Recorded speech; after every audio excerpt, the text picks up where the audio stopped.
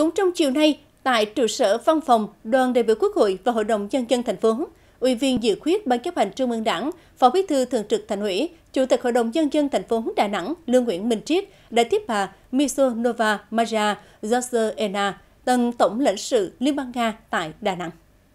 Tân Tổng lãnh sự Liên bang Nga tại Đà Nẵng đã cảm ơn lãnh đạo Hội đồng nhân dân thành phố đã dành thời gian đón tiếp đoàn. Bà hy vọng trong nhiệm kỳ công tác của mình tại thành phố sẽ tiếp tục nhận được sự hỗ trợ từ phía địa phương. Bà Tổng lãnh sự nhấn mạnh, quan hệ hợp tác giữa Việt Nam và Liên bang Nga là mối quan hệ bền chặt, có tính lịch sử và đây là tiềm năng tốt để thúc đẩy hơn nữa các quan hệ hợp tác trên nhiều lĩnh vực giữa Nga và Đà Nẵng. Mối quan hệ hợp tác không chỉ dừng lại ở kinh tế mà cả các quan hệ nhân đạo, giáo dục. Phó Bí thư Thường trực Thành ủy, Chủ tịch Hội đồng nhân dân thành phố Lương Nguyễn Minh Triết chúc mừng bà Misonova Maria Joserena được phân công đảm nhận cương vị tổng lãnh sự, một vị trí cực kỳ quan trọng cho mối quan hệ Nga và Đà Nẵng cũng như bảy tỉnh miền Trung. Chủ tịch Hội đồng nhân dân thành phố cũng tán thành hai vấn đề mà bà tổng lãnh sự đề cập, đó là sẽ xúc tiến xây dựng các đường bay thương mại và các tour du lịch giữa Đà Nẵng đến Nga và ngược lại. Hiện tại, khách du lịch Nga đến Đà Nẵng mới dừng lại 2.500 khách mỗi năm,